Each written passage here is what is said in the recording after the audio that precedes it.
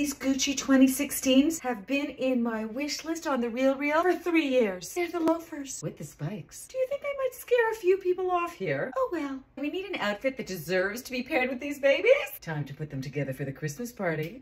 1970s vintage palazzo pants. I promised myself I wasn't gonna buy another 70s maxi dress, but guess what? She's not a dress. To me, this is totally Ungaro. Look at this sweep. I do like the idea of breaking up the print with a belt. Lately, I'm quite obsessed with Judith Leiber vintage belts. Why? Because you can make them tighter or looser from the back. Genius! The only problem is as you move, these belts tend to stretch. If you want it to stay in place, just stick a little bobby pin right in there. Then she's not going anywhere. This is fab. My hair's competing. Gotta go up. It's a good hair day. Don't want to waste it, God forbid. Let's use a little dry volume blast by Living Proof. Lift up your roots.